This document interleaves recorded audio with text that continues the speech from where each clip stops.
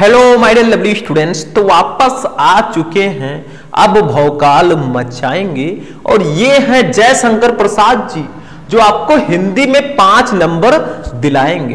Hello my dear lovely students welcome back to my channel Shubham lecturer myself Shubham Goswami आज के इस video में हम class twelve Hindi में पाँच नंबर कंप्लीट करेंगे, ठीक है? क्योंकि इस वीडियो में हम आपके लिए लेकर आए हैं हिंदी के एक बहुत ही महान कवि, जिनका नाम है जयशंकर प्रसाद जी। इनके साहित्यिक परिचय और इनकी रचनाओं को। ट्वेल्थ वाले स्टूडेंट कह रहे थे सर आप जयशंकर प्रसाद जी के साहित्यिक परिचय पर वीडियो बनाइए।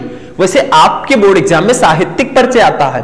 लेकिन क्या आपको स्टार्टिंग में जीवन परिचय लिखना ज़रूरी है? तो हाँ बिल्कुल ज़रूरी है। और आज के इस वीडियो में जैसा मैं बताऊँगा, अगर ऐसे लिखकर आओगे तो एग्जामिनर को भी बोलना पड़ेगा, ले ले बेटा, पाँच में पाँच। इस पे तेरा ही हक है। क्योंकि इस तरह से आपको लिखना है जैसा मैं इस वीडियो में बताने वाला हूँ। तो छोटा सा वीडियो है, ध्यान से देख लो भैया।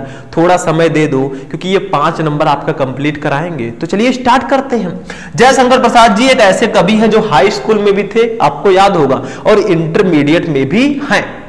और तब तक रहेंगे जब तक ट्वेल्थ वालों को पाँच नंबर नहीं दिलाएँगे। तो सबसे पहला हेडिंग रहेगा जीवन परिचय।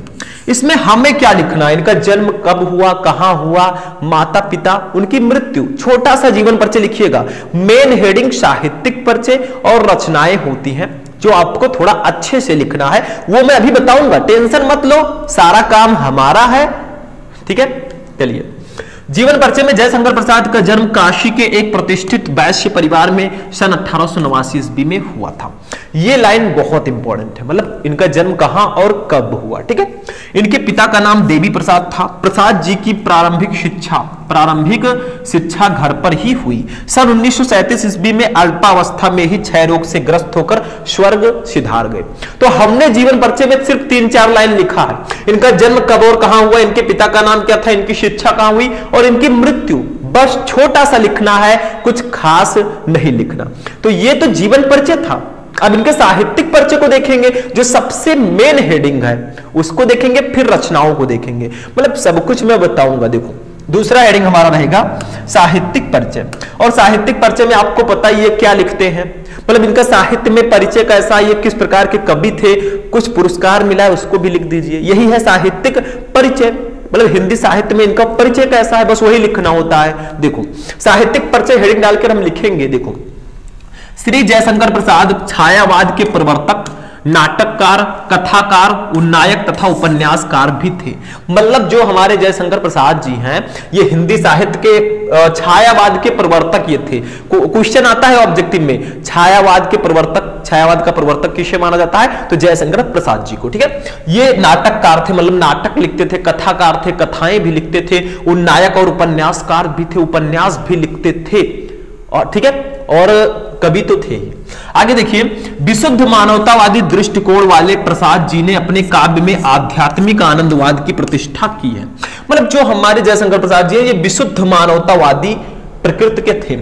और इन्होंने विशुद्ध मानवतावादी दृष्टिकोण वाले प्रसाद जी ने अपने काव्य में आध्यात्मिक आनंदवाद की प्रतिष्ठा की है। ठीक है? आगे देखिए, प्रेम और सौंदर्य इनके काव्य के प्रमुख विषय रहे हैं। मतलब इनकी जो काव्य रचना है, उसमें प्रेम और सौंदर्य जो है, वो प्रमुख विषय रहे हैं। लव एंड ब्यूटी प्रेम और सौंदर्य। लव का मतलब प्रेम ब्यूटी का मतलब सौंदर्य, ठीक है? जो आप सब हैं। किंतु मानवीय संवेदना उनकी कविता का प्राण है। मानवीय संवेदना उनकी कविता का प्राण है, जो हम लोगों में है। तभी हम पढ़ रहे, पढ़ा रहे हैं, आप पढ़ रहे हैं, ठीक है? प्रसाद जी ने नाटक, उपन्यास, कहानी, निबंध आदि सभी साहित्यिक विधाओं पर अपनी लेखनी चलाई है और अपने कृतित्व से इन्हें अलंकृत किया। मतलब साहित्यिक परिचय में, इनका साहित्य में परिचय कैसा किस प्रकार के रचनाकार थे? किस प्रकार की रचनाएँ करते थे? ये सब आपको साहित्यिक परिचय में लिखना होता है। अब इनकी रचनाओं पे आते हैं हम लोग। इतना साहित्यिक परिचय में लिख देना। भैया अस्सी शब्द में लिखना होता है। ज़्यादा मत लिखिएगा। कम तो बिल्कुल मत लिखिएगा। ठीक है, देखो। रचनाएँ। जयशंकर प्रसाद जी की रचनाएँ निम्न है। आपको हेडिंग वाइज लिखना है, खूब सुंदर दिखे अच्छा दिखे नंबर भी वैसे ही मिलेगा। काव्य ग्रंथ में कामायनी, आँसू, लहर, झरना, ये इनकी काव्य रचनाएँ हैं। देखो कौन कौन सी? कामायनी, आँसू, लहर, झरना, ठीक है? कहानी में इनका आकाश द्वीप आकाश द्वीप, इंद्रजाल प्रतिध्वन आंधी, ये इनकी कहानी वाली रचना है। देखो, जो आपके हिंदी में ऑब्जेक्टिव क्वेश्चन आते हैं, बहुविकल्पीय प्रश्न, उनमें ये सारे क्वेश्चन आते हैं कामायनी किसकी रचना है? आँसू किसकी रचना है? लहर किस विधा की रचना है? तो ये सारे क्वेश्चन यहाँ से उठाए जाते हैं। तो यहाँ पे आपको रचनाएँ याद रखनी है।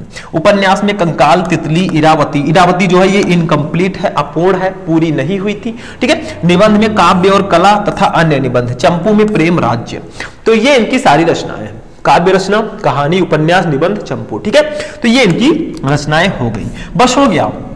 ऐसे ही आपको जयशंकर प्रसाद जी का पूरा साहित्यिक परिचय और रचनाओं को लिखना है। पहले छोटा सा हेडिंग जीवन परिचय, इनका जन्म जन्म स्थान मृत्यु, पढ़ाई पढ़ाई, वढ़ाई, ठीक है?